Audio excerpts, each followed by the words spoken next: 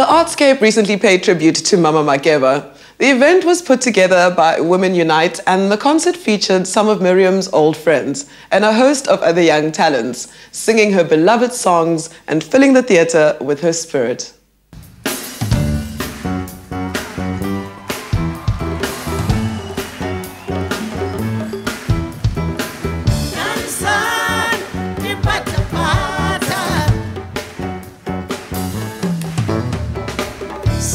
Today, we're here to salute this great icon of a woman who said in her own words, I am irreplaceable, Baba.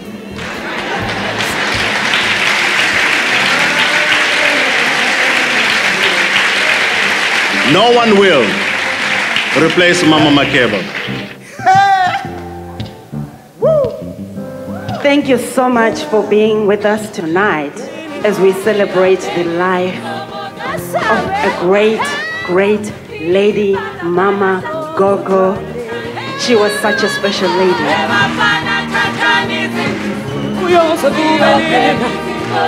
We who spent a lot of time with her found something amazing about this woman that was larger than life. She loved jokes. And sometimes she would tell jokes and start laughing first. You need to wait for her to calm down, and by the time if the joke was not funny, you're gonna. oh, mama, you kill me.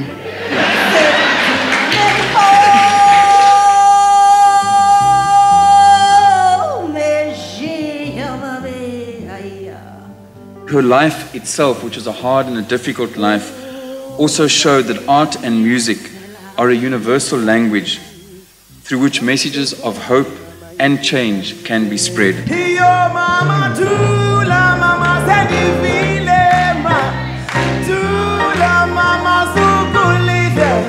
As much as she represented us, there are times when we did not know her because she was branded as a terrorist.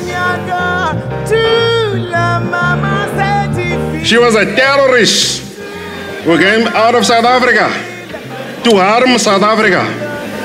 But she did not do that. She left this country to represent all South Africans.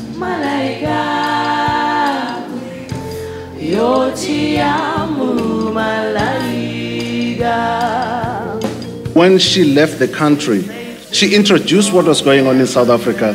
She also represented the continent and made us look good in the rest of the world.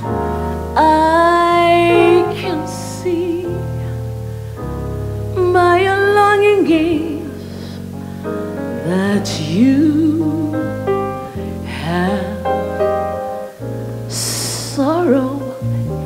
Not only did she keep the fire of our struggle burning in her exile years, but her music and her songs spoke also to the joys and pains of real life, of children, of broken love affairs, of celebration, of heartache, and of pain.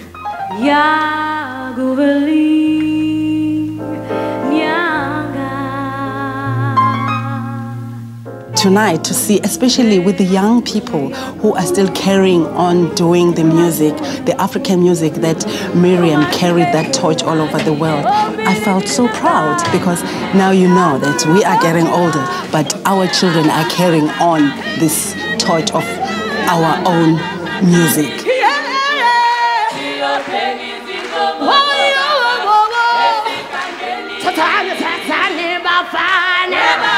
Because I'm a young artist, she has been later introduced to my life because I grew up at a time where there was other kind of musics.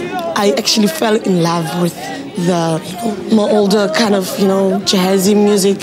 So for me, this was amazing. Oh mama,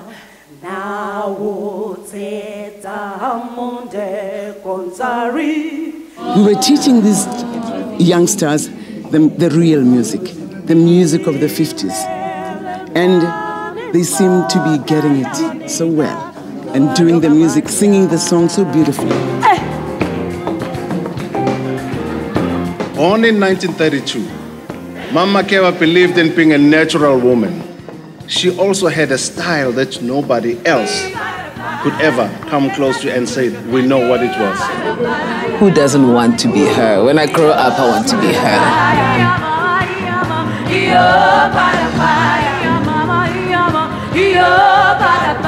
I'm extremely proud to be actually giving tribute to one of the greatest ladies of song, and not only a great lady of song, a activist and someone who fought for human rights like Miriam Makeba. Mama Makeba left a legacy to be followed. Mama Makeba said, don't divide us, unify us.